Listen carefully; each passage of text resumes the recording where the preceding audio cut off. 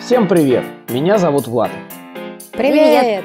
Я Таня. А я Лена. Мы все работаем в Банкиру. И это наш подкаст об инвестициях «Это к деньгам». Хотите начать инвестировать, но не знаете как? Мы тоже. Давайте разбираться вместе. Значит, друзья, всем привет. А, я с радостью представляю вам сегодняшнего нашего гостя, Евгений Борисович Коган, а, профессор Высшей школы экономики, инвестиционный консультант с большим стажем и автор телеграм-канала «Биткоган». Я всегда не, уставляю, не, уста, не устаю повторять, что это мой любимый телеграм-канал. вот, и мы с моим сыном, который тоже занимается инвестициями, с, с радостью его читаем, обсуждаем практически каждый вечер на кухне. Евгений Борисович, здравствуйте. Да, добрый день. Добрый день, ребят. Сегодня у нас наш выпуск посвящен, наконец, мы в прошлый раз открыли брокерский счет, перевели туда деньги. Как нам обещали все брокеры в своих рекламах, это оказалось легко. А, но оказалось, что самое главное, это засада начинается дальше. То есть деньги мы перевели, а что делать? Делать с ними, мы не понимаем. Можете ли вы нам ну, рассказать, как, бы, как вообще начинающему инвестору действовать дальше? Ну, вы знаете, в действительности э, перевести эти деньги несложно. Самое главное – это дальше с собой договориться. Э, основная проблема состоит в том, что 90% нашего населения сидели в депозитах в банках. И, собственно говоря, альтернатив не было никаких нормальных. А в тот момент, когда народ осознал, что, ой, а что-то процент маленький, и реальная ставка, она плюс-минус то же самое, что инфляция, и реально она равна нулю или стремится к нулю, народ побежал пытаться что-то делать на ценных бумагах. Отлично. И тут он осознал, что перед ним не маленькая лужица, а гигантский океан инвестиций, в котором есть все. Можно поймать и сайру, и скумбрию, а можно столкнуться и с акулами. И вот как с этим быть? А с этим все очень просто. Для начала определиться, мы идем ловить ставритку или охотиться на, аку, на акул со всеми вытекающими. Переведу э, на русский язык свои мысли. Мы идем на фондовый рынок зачем? Чтобы сберечь свои деньги? Отлично. Тогда есть понятный и очень конкретный и ну, вразумительный, скажем так, инструментарий. Это прежде всего мир облигаций. И если мы говорим про самое надежное, то это мир государственных облигаций, если мы говорим про Россию особенно. Или мир корпоративных облигаций, ну, надежных. Тогда понятно, мы сидели в депозитах, мы перешли на более надежный даже, чем депозит вещь, а именно государственные облигации. Вариант номер два. У нас есть гигантский мир э, корпоративных облигаций. В России очень неплохой рынок корпоративных облигаций, но нам ведь этого мало. Мы ведь в казино хотим. Тем более мы же слышали, что сосед подача или там друг зарабатывает, как выясняется, целый процент в день по крайней мере, он это говорит. Так и хочется вспомнить старый анекдот и сказать ему, слушай, ну и, и мы говорим, нет, мы же пускаемся во все тяжкие. И тут же начинаем реагировать на рекламу различных жуликов, которые предлагают все, что угодно. Но э, это уже экстремальный случай. Это просто взаимодействие людей с мошенниками, которых развелось много. Давайте возьмем не мошенников. Давайте возьмем такую штуку, которая называется трейдинг. Приходят э, люди, курсы организовывают и рассказывают нам, вы знаете, вот если заниматься трейдингом, то можно заработать и 15, и 20, а иногда даже вот 30% годовых. Да, можно, но Проблема в том, что трейдинг – это спекуляция. Во-первых, это очень рискованно. Во-вторых, это очень нервно. Если вы мне задаете вопрос, э, что нам надо делать и как, в первую очередь договориться с собой, о чем мы занимаемся. Евгений Борисович, а вот вы говорите, что надо договориться с собой. Это все э, как бы инвестиционные консультанты, ну не все, многие, да, говорят о том, что надо начинать вроде как с определения инвестиционного профиля. И, по-моему, даже я у вас э, читал в телеграм-канале один из постов, где вы говорите, что вы с этого начинаете, когда с своим клиентом работать. А что это такое? Что такое инвестиционный профиль? Вот смотрите, вот вам, э, наверное, где-то лет 35. Очевидно, у вас есть э, ребенок, может быть, дети значит, у вас есть, очевидно, жена. И, раз есть жена, то есть определенные потребности. Ну, то есть, какой ваш инвестиционный профиль молодого человека, который может себе позволить, наверное, чем-то рискнуть, но, с другой стороны, имеет достаточно еще времени. Это инвестиционный профиль человека, который ну, может себе позволить какой-то риск определенный. И об этом риске мы с вами можем разговаривать. Определяя в нашем разговоре, собственно говоря, вот какой этот уровень риска. Иначе говоря, ваш инвестиционный профиль. Вот, понимаете, поэтому есть определенные баллы там, но это все уже начинается математика, это все уже немножко другое. Так вот, определить, что вам можно делать, а что нельзя, это и есть инвестиционный профиль. Разобраться в том, какой инструментарий вам подходит, это следующее. Потому что из этого инвестиционного профиля следует инструментарий. Рискованный, нерискованный, спекулятивный, так сказать, консервативный и так далее. Все очень просто. Евгений Борисович, а вы можете вот прям, вот прям в эфире попробовать, например, для Тани, для Лены э, помочь им определиться с их профилем? Девушки – существа такие, знаете, творческие. Им всегда что-то неожиданного хочется. Э, если серьезно, то давайте попробуем. Ну что, э, с кого начнем? Ну, давайте с меня, давайте с меня. Леночка, давайте вы. Отлично. Лен, э, скажите, пожалуйста, вот у вас ваши доходы превышают ваши расходы? Я не спрашиваю пока сколько. Да, превышают. А как вы считаете, вы могли бы какую-то сумму ежемесячно откладывать без того, чтобы значительно изменить, менять, ухудшать э, свое качество жизни? Да, да, могла бы. Отлично. Скажите, пожалуйста, а для чего? Зачем вам нужно было откладывать? Вы хотели бы купить квартиру или на пенсию? Вот каковы ваши, каково ваше кредо? Для чего вы хотите откладывать? Или непонятно для чего, просто хочу откладывать? Как говорится, там разберусь. Да, вот, наверное, хочу откладывать, а на что решу потом. Скажите, а как вы отнесетесь к тому, что в какой-то момент вы э, проинвестировали свои деньги и вдруг с ужасом обнаружили, что половина из них не хватает. Э, биржа – это биржа, риск – это риск. Что-то случилось, неважно. Как вы отнесетесь к тому, что будут потеряны деньги, которые вы с таким трудом и усердием сберегали? Ну, вот я уже коллегам говорила, что те деньги, которые я готова инвестировать на бирже, я с ними изначально простилась, поэтому я, в принципе, готова к риску. А почему? Ради чего? Ну, я не могу сказать, что ради какой-то доходности большой. Мне просто пока что интересно посмотреть, как это будет. То есть для вас основная тема – это просто поучиться? Да. Хорошо, ну вот вам и понятный инвестиционный профиль. Типичный спекулянт, барыга. Я шучу, конечно. Лена молодая девушка. Она хочет попробовать понять, что такое Акции. Вы что-нибудь слышали про акции? Разумеется, Конечно. слышали. Вы что-то слышали про облигации? Ну, разумеется. А что такое динамическое дельта-хеджирование? Ой, нет, э, нет, нет, пол... спасибо, нет. Понял. Понятно. То есть контанга от баквардации вы не можете отличить? К счастью. Наверное, даже, мне кажется, да, к счастью, не, не могу. Ну вот мы с вами определились. То есть вы э, начинающий инвестор, который хотел бы разобраться во многих вещах. Да, я пошутил.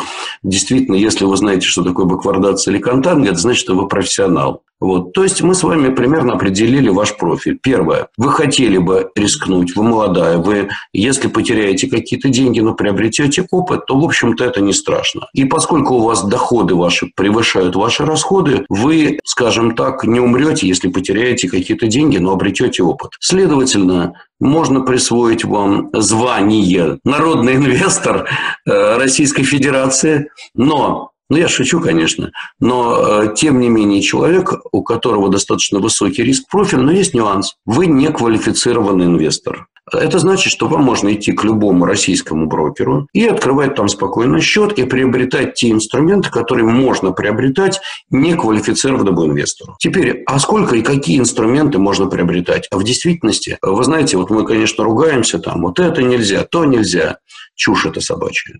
Э, неквалифицированный инвестор в России может приобрести огромный набор инструментов. Огромный. Так что у вас есть возможности как бы порезвиться. А теперь вы хотите учиться. Прекрасно. Ребята, мир инвестиций полон рисков.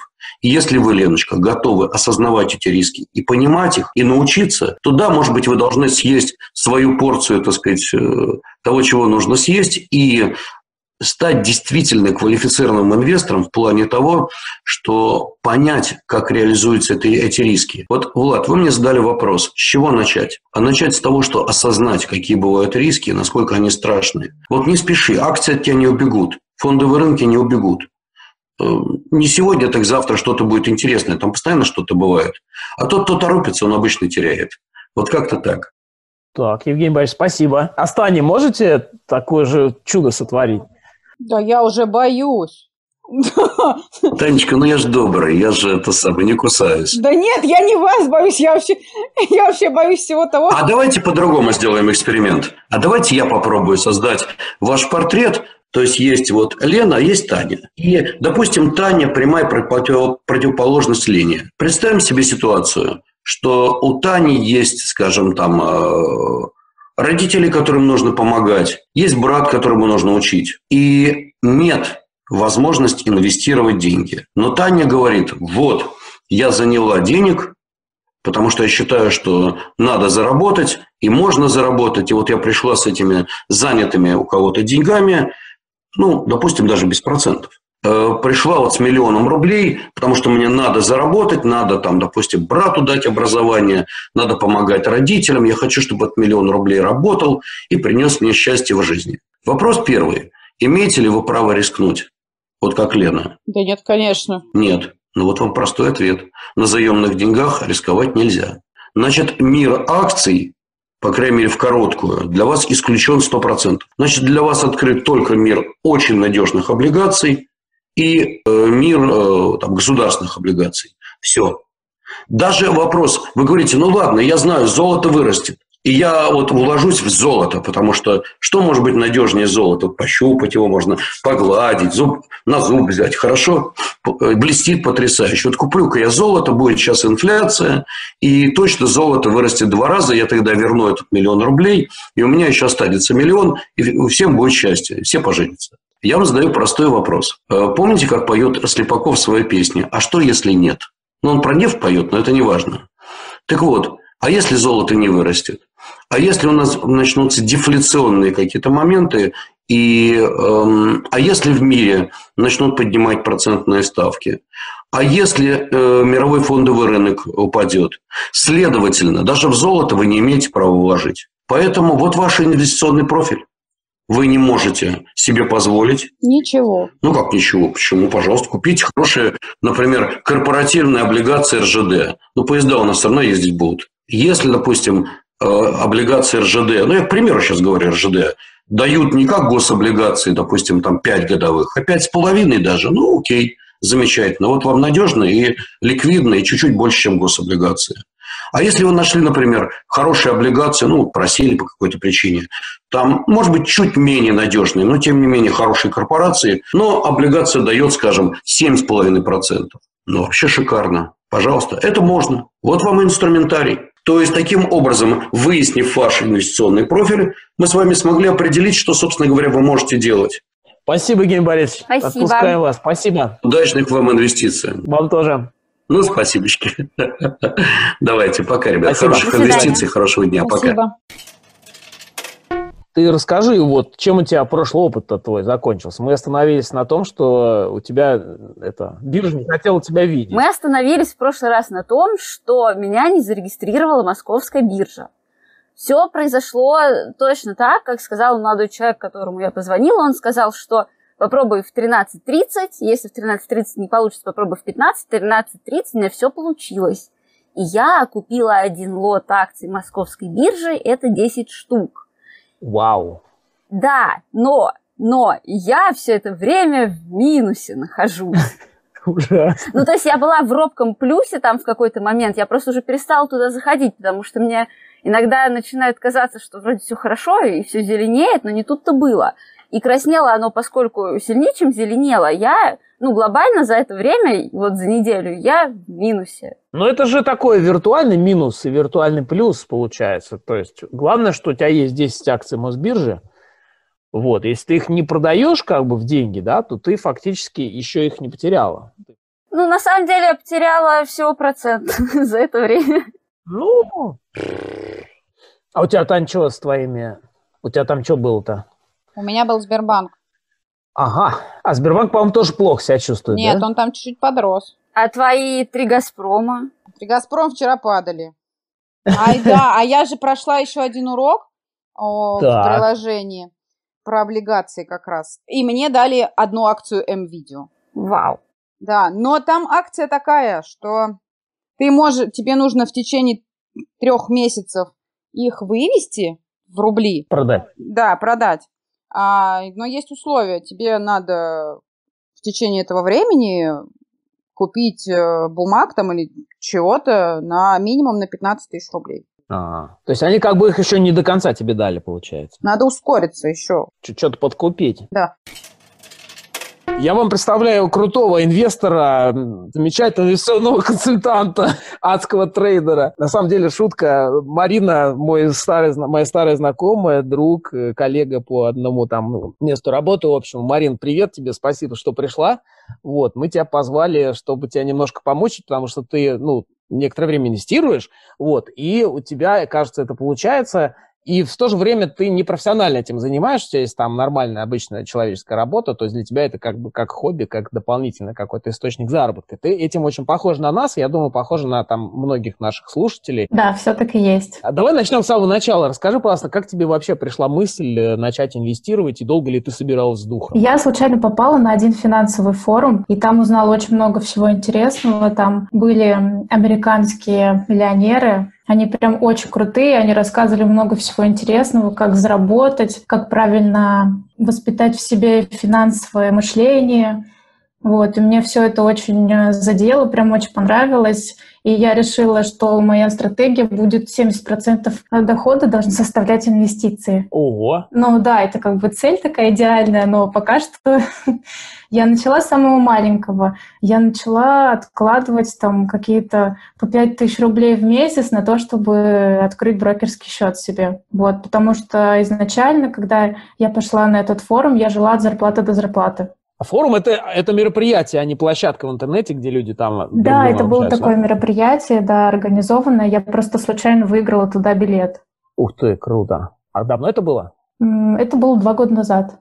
Так, ты начала откладывать по 5 тысяч, а потом, э, ну, типа, ты сразу открыла счет или накопила какую-то сумму? Ну да, я сразу открыла счет, я очень хотела это все делать, но денег не было, и поэтому пришлось вот так вот копить. Параллельно я смотрела, что я буду покупать, э, где я буду торговать. Э, ну и, наверное, через пару месяцев я уже открыла брокерский счет.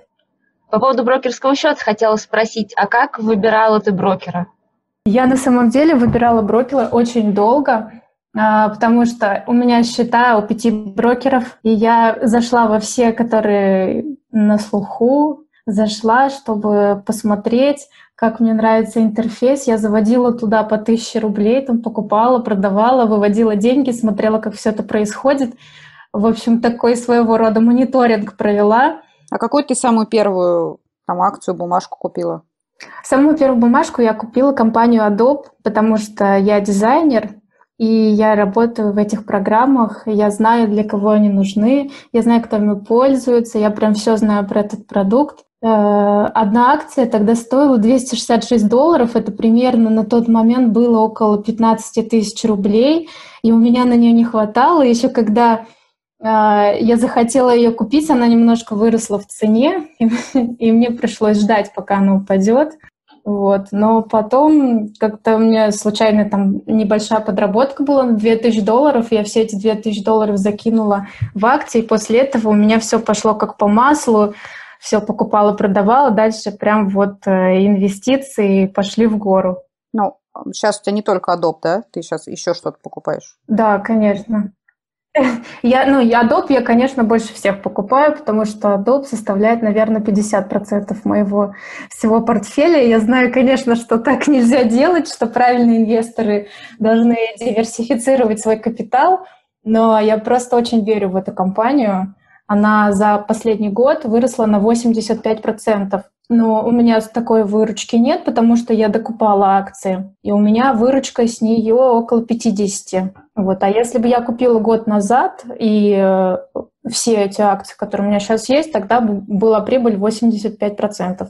А как вообще вот пришла эта идея про Adobe? Почему именно эти бумаги? Наверное, потому что это то, что я знала лучше всего. Как Уоррен Баффет говорит, что нужно инвестировать в то, что ты знаешь.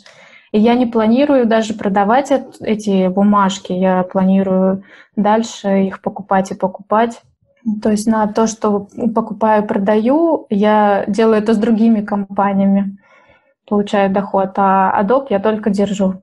А где ты находишь вот эти инвестиционные идеи про другие компании? А, ну, я по-разному делала. Вообще гуглила, гуглила самые а, доходные компании NASDAQ.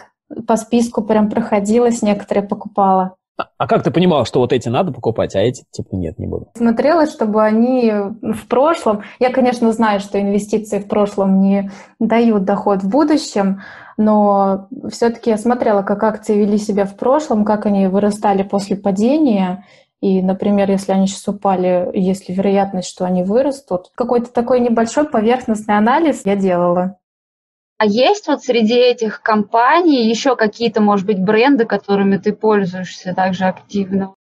Да, много разных было, но у меня с ними совсем другие отношения. Например, я купила компанию MasterCard, а, я ее держала, наверное, полгода, она немножко упала, немножко поднялась, и я решила, что этот доход такой, там меньше 10%, он мне не нужен. Я люблю, чтобы у меня прям пахло моим доходом, и я ее продала.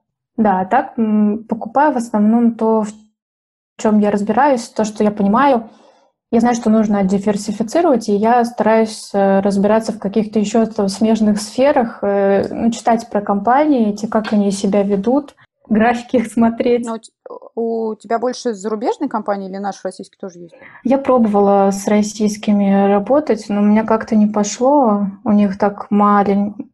такими маленькими темпами идет доход, что меня это не очень устроило.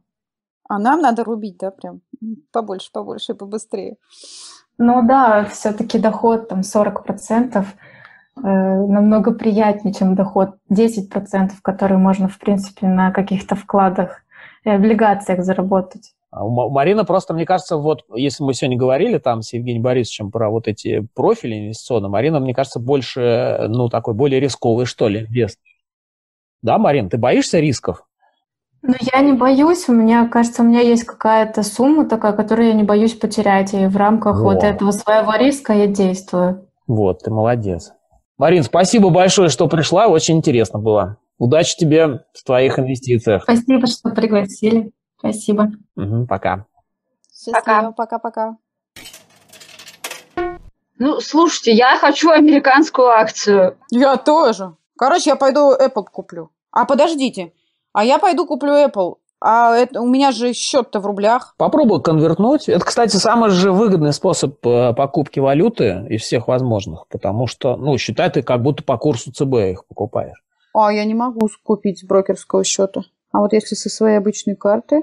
О, и с обычной карты не могу. У меня там все это сереньким. Я не хочу, честно говоря, покупать абы какую американскую бумажку, и поэтому, Влад, расскажи, где ты смотришь идеи, и мы тогда посмотрим тоже. Да, где смотреть? Давайте я сейчас... Ну, во-первых, я честно скажу, я вот читаю и очень люблю канал Евгения Борисовича, он называется Биткоган. Он там пишет про всякие инвестиционные идеи, про бумажки. В основном он торгует на американских всяких рынках. Но... А, ну вот, то есть американскую бумажку там можно подсмотреть. Можно, да, но у него там не будет вот этих ваших Apple э, и Adobe, у него не будет. Он там очень такие интересные всякие. У него, знаете, например, канадские производители марихуаны. О, чтобы весело было. Вот. Или там еще какие-нибудь компании, которые используют зеленые технологии. Ну, там есть типа такие более привычные какие-то истории, типа с нефтью, о котором говорю. Ну, короче, там у него очень большой этот самый разнообразный. Вот. Потом еще что есть? Есть такое... А, э, что касается облигаций, вообще офигительный классный канал. Янга Про Бонус называется.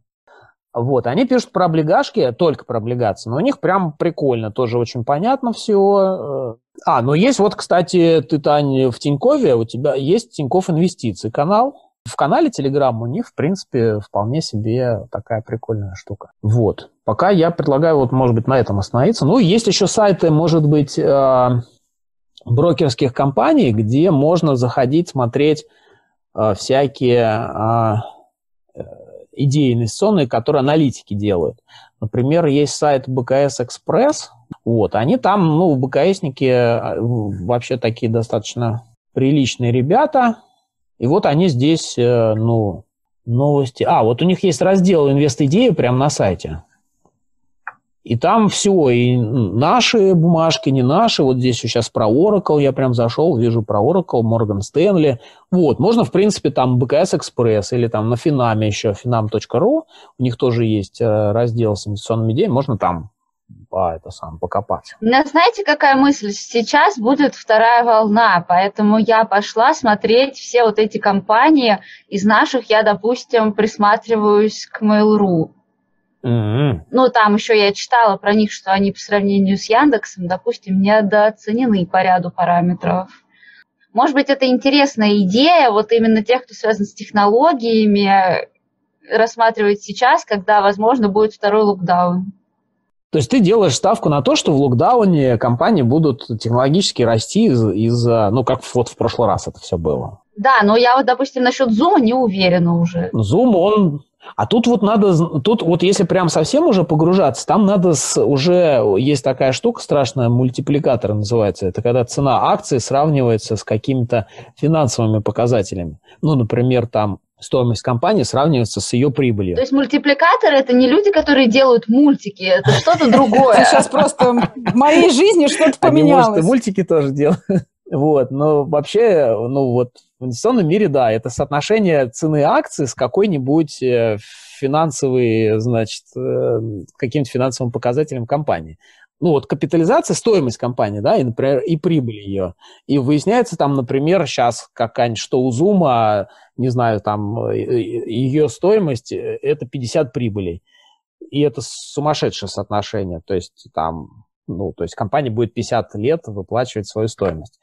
Вот, поэтому и, и там, когда мы берем, ну, то есть, как бы 50 прибыли это много или мало непонятно, но если мы возьмем, например, вот Яндекс и Mail.ru, да, сравнимые компании, и, и посмотрим, сколько там прибыли стоит Яндекс сколько прибыли стоит Mail.ru, мы уже можем понять, а, надо, а насколько там вот они оценены или переоценены относительно друг друга. Я вот зашел на сайт э, Yahoo Finance и хочу сказать, что очень удобно здесь вообще штука сделана. Тут вот эти всякие ну, ключевые параметры, они выводятся в summary. И здесь есть, в частности, такая штука PE ratio, вот так вот на английском. Это, я так понимаю, отношение как раз э, цены э, акции и прибыли earnings. То Zoom вот это вот страшное отношение цены к прибыли 655, а у Mail.ru всего лишь 50. А что у Тани там с валютой? Ничего, я не могу. Давайте звонить э, в Тиньков прекрасного колл-центра Тинькова. Здравствуйте, Игорь. А подскажите, пожалуйста, я вот хочу купить э, на свой брокерский счет доллары. У меня сейчас открыт рублевый счет. А как вот мне долларов-то туда добавить? Давайте я это прям сделаю сейчас с вами. А то я тыкала-тыкала, не тут... Ага, открыла. Да, она вот у меня серая. А, все, поняла. Ага, а сейчас я могу купить сколько хочу. Вот знаете, Игорь, вы не поверите, до, до моего звонка вам у меня было написано, что количество лотов, один лот равно одному доллару, доступно ноль у меня было. А вот теперь мне доступно 370, представляете? Это просто волшебный звонок вам. Спасибо вам большое. Слушайте, это вообще, вот что было-то, я не поняла. У меня было до этого реально доступно ноль. Так, при покупке, вот смотрите, комиссия. При покупке 200 долларов будет комиссия 46 рублей. Нормальненько. Ну а что мне делать? Что, ну придется платить вы 46 рублей. Я купила. Так, и что, ты можешь на них купить-то что-нибудь? Ну, я пойду еще посмотрю, что я буду покупать. А, хитренькая какая. Что, прям хочешь, чтобы я сейчас купила? Да не, я не, не, я не настаиваю, нет, почему? Слушайте, дайте я тоже что-нибудь куплю, а то она все покупает и покупает. Давайте я вот Mail.ru как раз куплю. Давайте. Хочется как-то мне покупать. Ну вот вы не поверите. Только я их купила? Я покупала, да.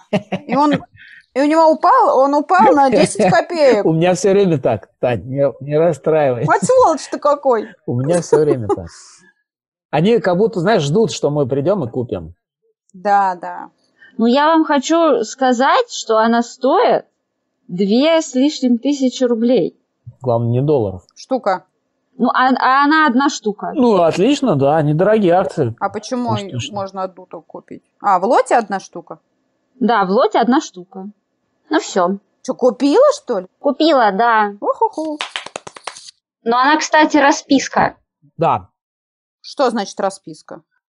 Ну, грубо говоря, расписка – это тоже ценная бумага, которую выдается на определенное количество акций для того, чтобы их можно было в других биржах покупать.